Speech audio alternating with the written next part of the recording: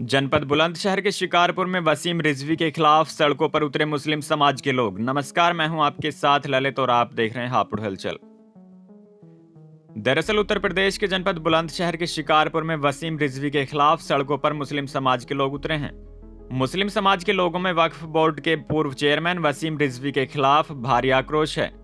मोहम्मद साहब और कुरान के बारे में अश्लील और अभद्र टिप्पणी का लगाया आरोप। ये रिपोर्ट देखिए। हमने जो ज्ञापन आज एसडीएम साहब को माननीय मुख्यमंत्री जी उत्तर प्रदेश के लिए दिया है, उसका कारण यह है कि हमारे इस्लाम धर्म के लिए और जो इस्लाम धर्म के पैगंबर इस्लाम है, हमारे मोहम्मद सल्लल्लाहु अलैहि वसल्लम, उनके शान में गुस्ताखियाँ की हैं। वसीम रुशदी, वकी, वसीम रुशदी, वसीम नालायक, वसीम गधा उसे जो कुछ संज्ञा दी जाए वो कम है।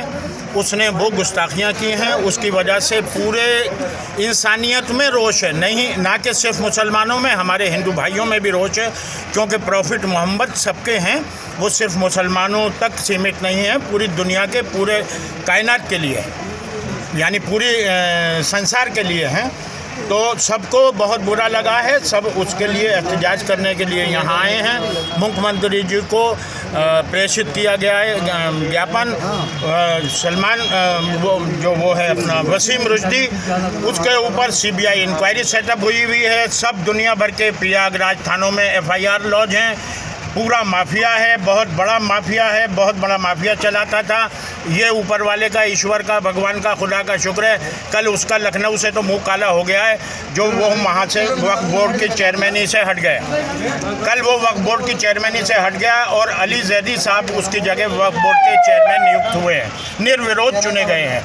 तो आप लोगों से भी यही दरख्वास्त है कि इस चीज़ को ज़्यादा से ज़्यादा शाया करें ज़्यादा से ज़्यादा अखबारों में और मीडिया इस चीज़ को सोशल मीडिया पर किस तरह की कार्रवाई चाहते हैं आप लोग? हम कार्रवाई ये चाहते हैं कि इमीडिएटली उसका अरेस्ट हो।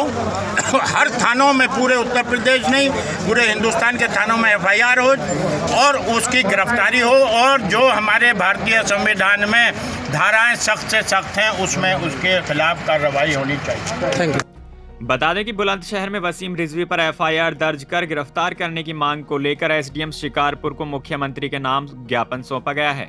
शिकारपुर कोतवाली पर सैकड़ों मुस्लिम समाज के लोगों ने इकट्ठा होकर किया प्रदर्शन। इस खबर में फ़िलहाल इतना ही। हापुड़ और आसपास की तमाम अहम खबरों के लिए आप जुड़े रहिए हमारे साथ। हम हैं हापुड़ शहर का number one news channel, Hapur Halchal. नमस्कार। हर छोटे बड़े अपडेट के लिए सब्सक्राइब करें हापुड़ हलचल को और बेल आइकन दबाना ना भूलें।